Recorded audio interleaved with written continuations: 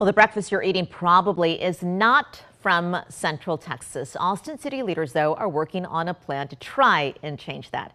Happy Friday, everyone. I'm Sally Hernandez. And I'm Tom Miller. We have KXAN's Dylan McKim joining us in studio. Dylan, you talked to Austin's food policy manager, and he's pretty worried about this. Yeah, he's very worried about this. He said as the population grows, more farmland is being lost to development, leading to a greater population and a smaller amount of local food production.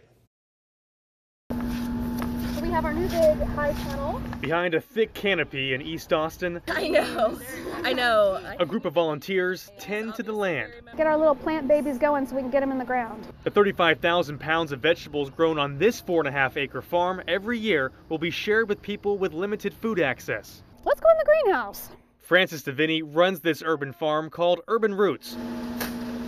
It's one of nine remaining urban farms in central Texas, down from decades ago. Austinites get most of their food from outside of the county. A study by the city in 2022 showed just 0.06% of food consumed here is produced here. Deviney wants that number higher. The less food has to travel to get to you, the more nutritious the food is because it loses its nutritional value over time. The city does too. We're just simply tumbling forward towards a future that unfortunately doesn't include local agriculture at this point. Edwin Marty is Austin's food policy manager. He says while the population grows, our food growth is stagnant. Austin is, on average, losing more than 16 acres of farmland a day to new developments. As we see these continued growth um, explosions happening all across Austin, urban farms are often a target for development. Marty and his team are creating a food plan, a vision to create better food stability in Austin, including raising local food production. Deviney and her team are hanging on to their land. They bought it more than a year ago, and she's encouraging everyone to try farming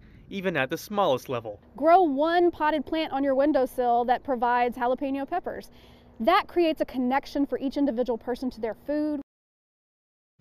Dylan, you talked about this Mm-hmm. this new food plan. Who's going to oversee that, and how's that going to work? Yeah, so it's a joint combination between the county and the city to really create this food plan, and they have just officially created their committee or community advisory committee. It's a 25 member team, and right now they're trying to focus on the top three to four priorities of what to focus on in this food plan. Of course, they're actually asking for anyone in the community to provide any input on a, uh, a, a food survey on a website they have created. We'll find that link on our website, kxan.com. Just search for this story. Are you growing the uh, jalapenos in your wind? Not the jalapeno poppers. I tried to grow like a bell pepper one time, and I went on vacation, and I was like, Not happening. didn't have a, pl- a plant babysitter, you know. I was Don't like, hate on the uh, jalapenos. I mean, you could use them in margaritas. That's Kristen. right. That's true. That's right. The problem is if that's the only thing I'm growing, that's the only thing I left to Is eat. it a problem? That's true. That's true. I kind of like where your mind's at, Sal.